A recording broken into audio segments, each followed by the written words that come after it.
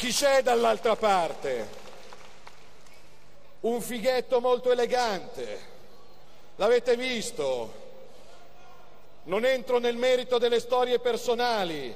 Probabilmente la RAI sta preparando una fiction sulla coppia Macron. Sai che figata innamorarsi minorenne della tua professoressa.